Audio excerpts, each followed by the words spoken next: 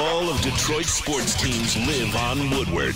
All of Detroit's sports coverage lives on Woodward Sports. Driving the best in Detroit sports coverage.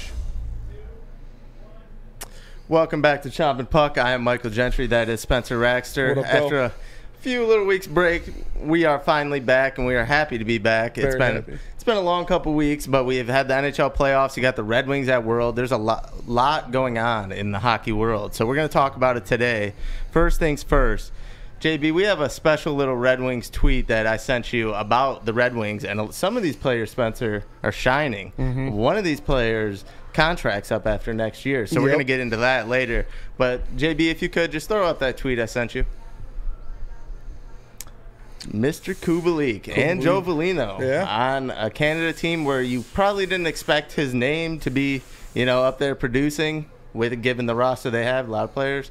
But Joe Veleno shining, Berggren, he's got four points plus three. Raymond, Seider two assists, and Mata. So I mean that Spencer, that's an awesome sign. Obviously, you didn't expect some of these guys to even play at mm-hmm. Worlds. They were going to take a little break over the summer.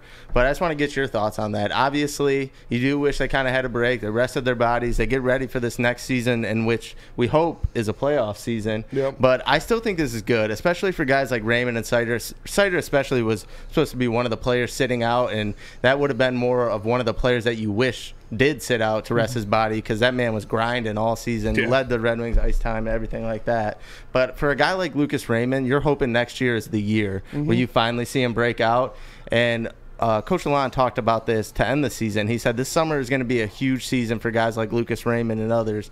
So to see Lucas Raymond going out there, having success, getting his scoring touch a little bit back, I love to see that. Spence, what are you thinking? Yeah, I like it too. And obviously, like you said, Sutter logged a lot of minutes this year, so you would have liked to see him sit out. But this just this means more for these guys. Like Yeah. it's, it's like the World Baseball Classic and different things like that. Even the Olympics to to a lesser degree, like from the Olympics, but it still means more. You're playing for your country. You're trying to put your name out there, and you see the guys going out there shining. Kubi leading the entire world's in, In points. points. He's got 10 points. He had a hat trick the other day.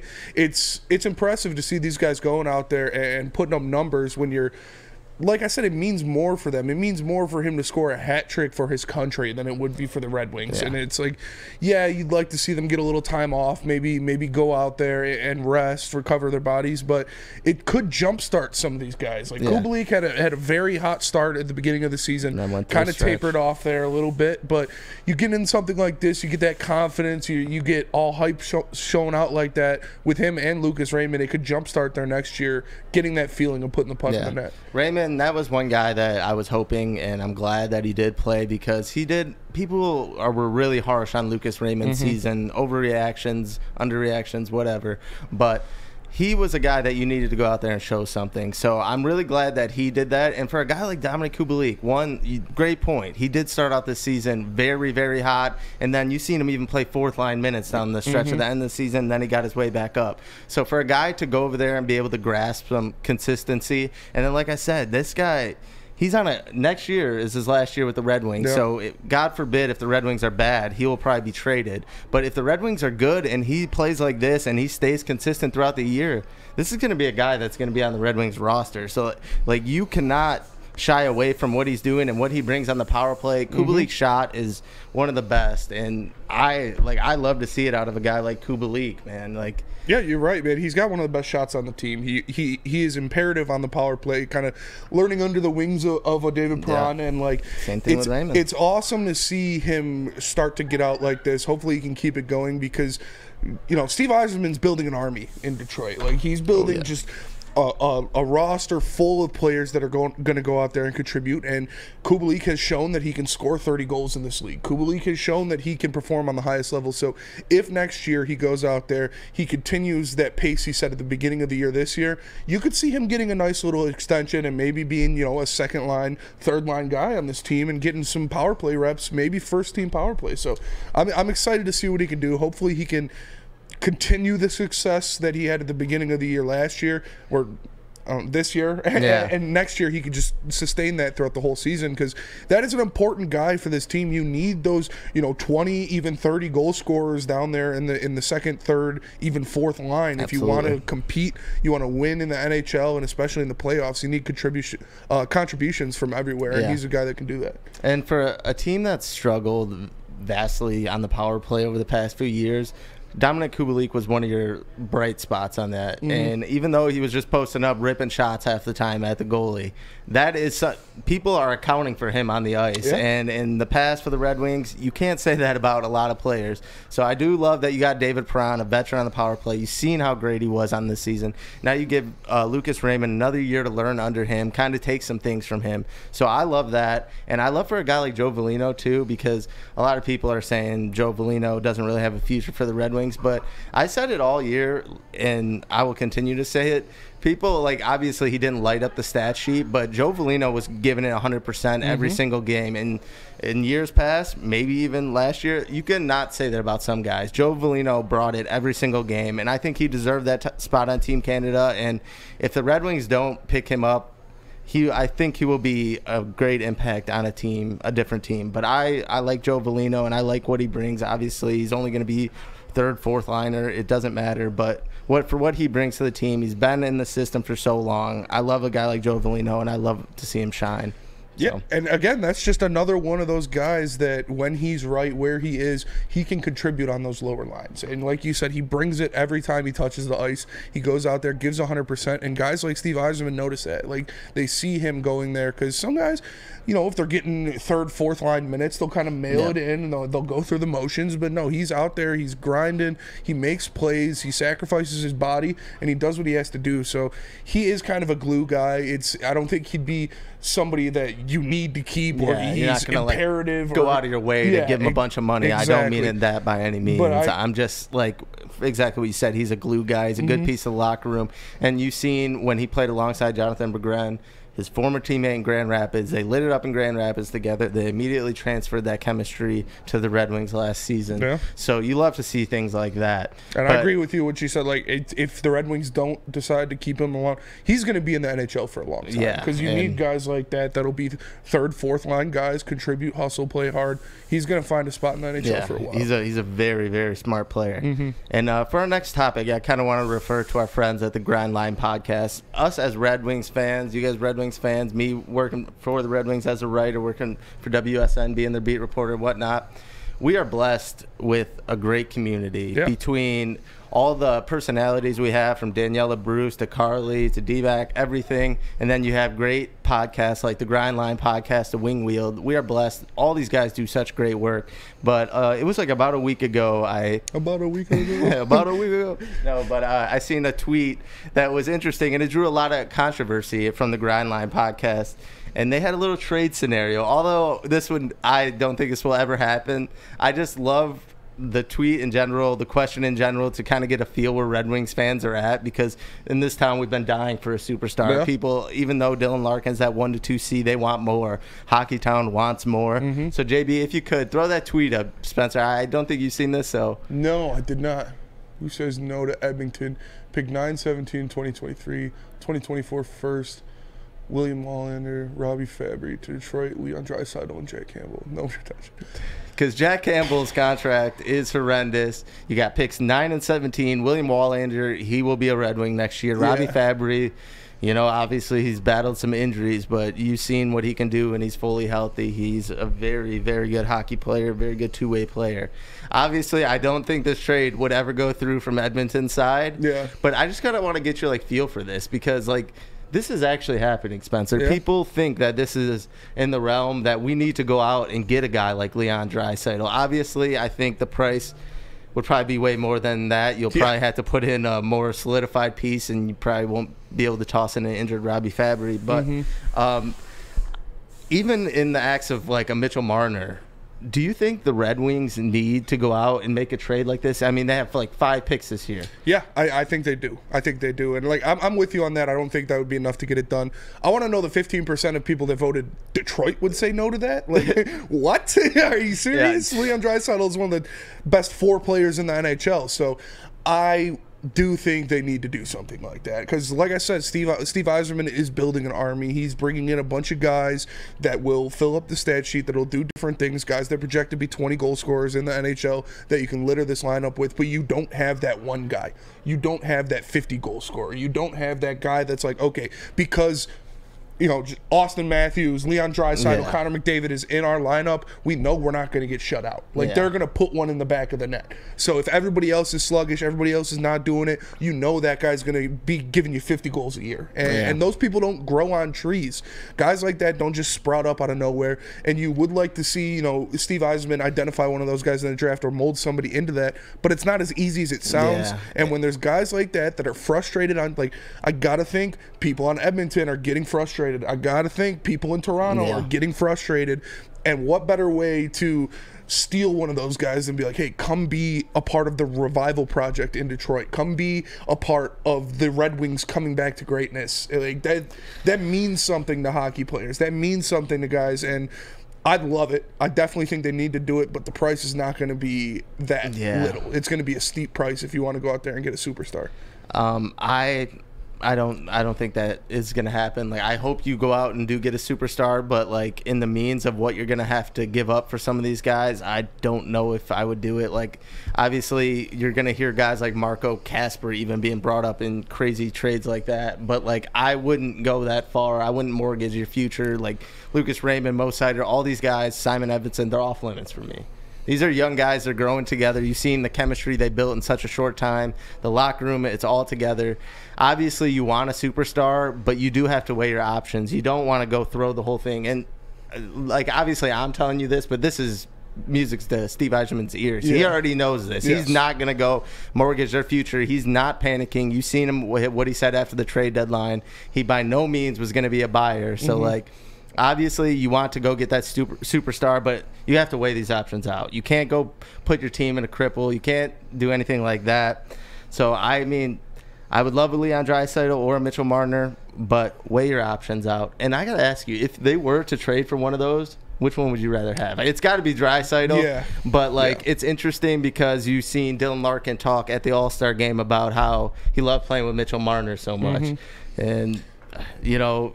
Toronto just fired their GM today. Yeah. It's going to be a shit show. Who knows what Auston Matthews wants? Mm-hmm.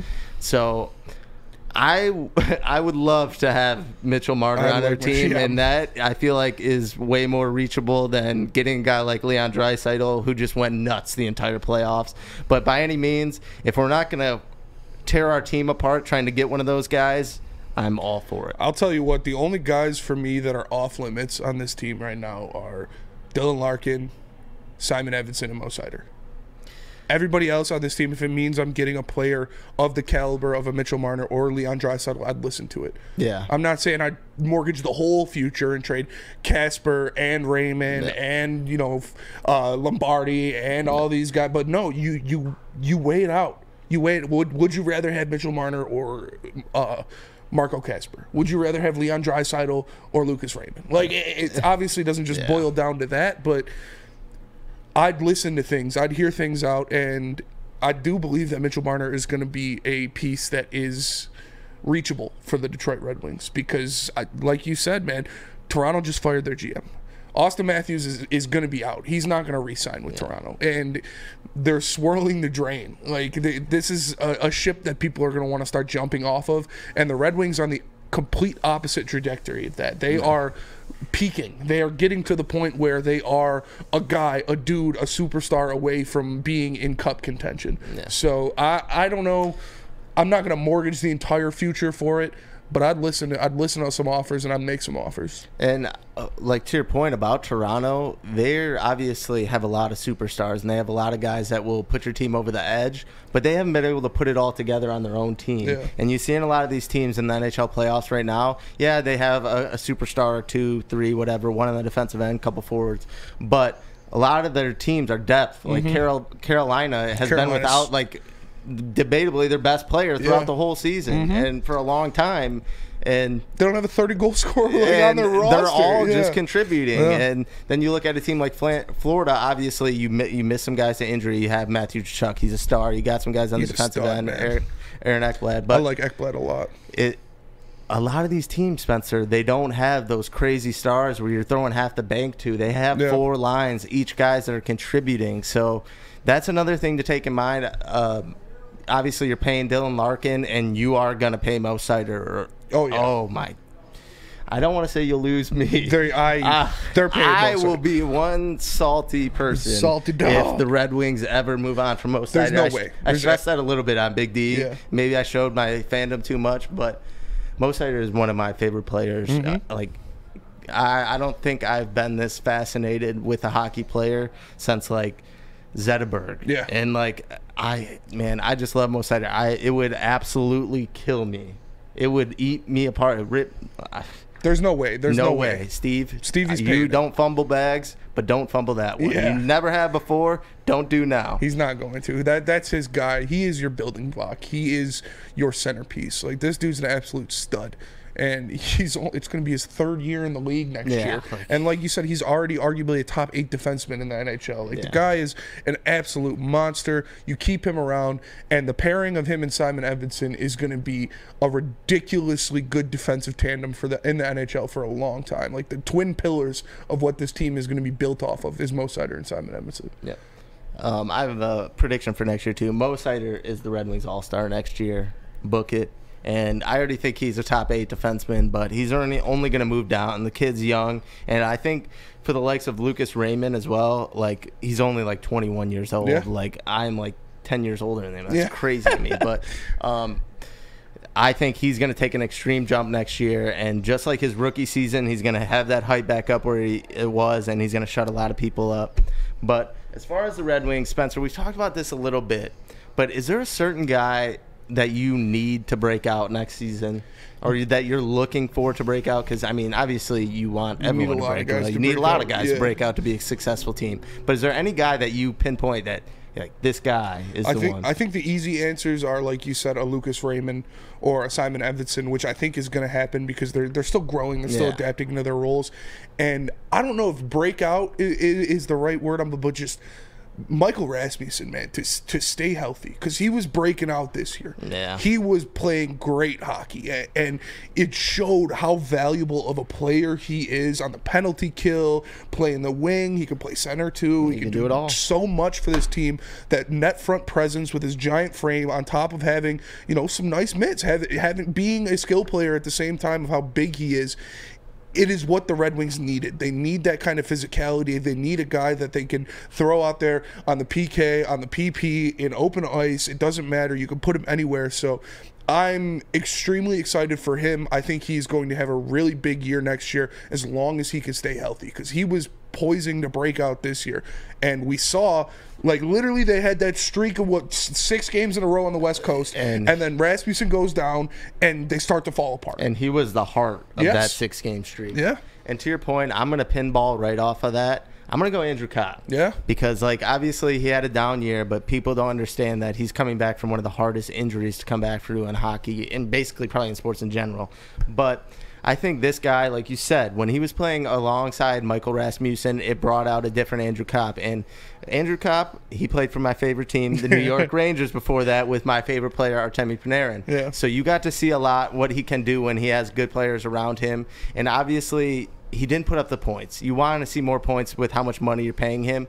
But next year, this is going to be a huge step forward for him. He needs to come out and make that. I don't want to say make that same impact he made in New York because you're playing with bona fide stars, Yes. bona fide studs. Yeah. But you tough. need to come out there and you need to be that two C. I mean, you got Mark or Marco Kasper that you hope is going to be two, th- two to three C range. Yeah. But you need Andrew Copp to come in there and slide in and be that veteran presence. Obviously, you know he has leadership uh, capabilities from the past, being a captain at Michigan, Mm-hmm. wore the A for a short time with New York.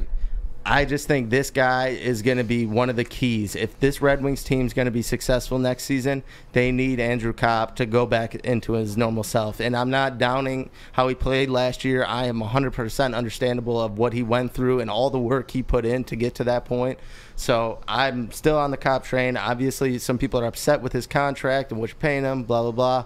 I don't care. Give this man another year, fully off season to recover. I think Andrew Copp will be a valuable, valuable piece for the Red Wings Yeah, next you season. need a me- like you said, not only the veteran presence, but that two seat. You need you need another guy, and because yeah, you expect Kasper to be that. You expect him to make it, but he's he's going to be a rookie. He- He's you can't count on that to be your two seat. Copp is Yeah. solidified at what he does. He's been in the NHL for a long time.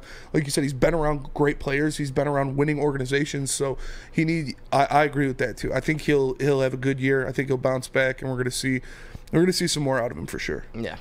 All right. Well, this weekend, yesterday rather, we had the first game of the NHL playoffs since they returned. The Florida Panthers. Yeah. Spencer, you stayed up, goddamn, all night to All watch night. that fucking game. Mm-hmm.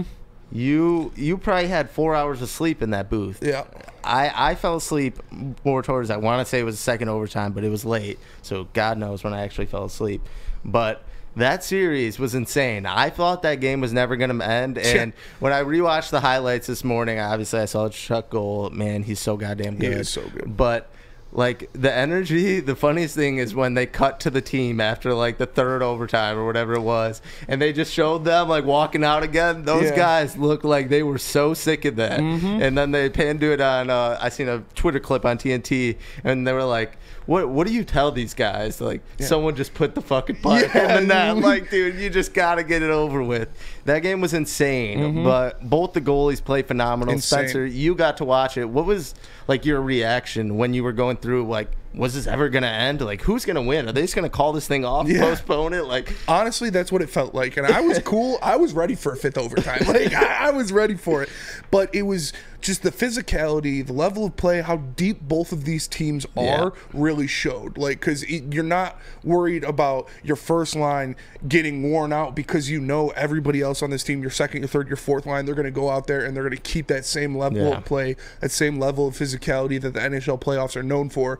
It, it was extremely impressive to watch these goalies standing on their head, both of them, and you know Bob is just a monster out there, man. saves a piece. Bob is Like, a monster out there. and like, uh. Carolina had so many good chances Yeah. to score when I was watching. Like I feel like that game could have been over within like the first five minutes of overtime, and then it's just boom, boom, boom, boom. Mm-hmm. just standing And- on his head, man. And, and- it was funny. They cut to the intermission, like reports in between, obviously the overtime periods, and fucking dude, Wayne Gretzky did not want to be there anymore. He was Oh. sitting at the interview. It was like It the was way third pa- overtime. He's like sitting like this.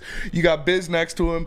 Biz is trying to keep the Yeah. energy up, and He's the only one, Yeah, man. Wayne the- was not feeling it. A lot of people don't like Biz on that table, but I I, Biz, man. personally, I've always been a fan of the spit, Spittin' Chiclet boys. Oh, and yeah. dude, what Biz brings to that table, I think it's a different element.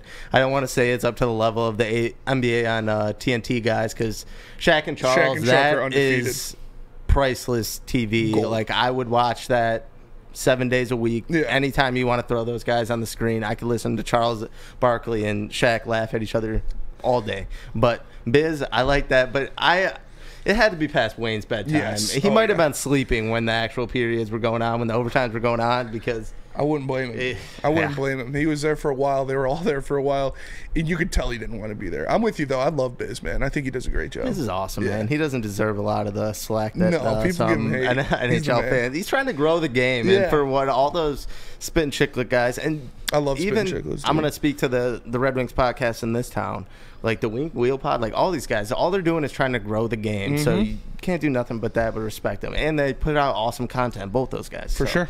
Spencer, you picked the Hurricanes to win that series. I did. I picked them to win the cup. Are you still confident that they're going to pull this off? Because these Florida Panthers, man, they're no joke. They're no joke. They are no joke. Yeah. Matthew Tkachuk is one hell of a player, and we talked about it a little bit on Big D Energy earlier. That was an absolute fleecing of a trade. Now Yeah. that it's settled, obviously is a great player, but is not the same player as it's not. It's, like it, it- the guy. it's he's a not. Hart Trophy finalist. Like it, you got a Hart Trophy finalist, and you gave away what? uh, How much did Huberdeau? have? He had like what fifty six points or yeah, something like that- that. This he year. had half of Tkachuk's points this season, and I'm contracts near the same. and it's I still got the Canes. I'm riding with the Canes, man. I picked them before the playoffs started to win the cup. I know Florida is this team of destiny. They took down Boston, they took down Toronto, and now they're going against the Canes. But I think the Canes win in seven just because they're so such a deep team, man. Yeah. Every single person on their roster has at least like 15 goals. Like they, Yeah. they are so deep,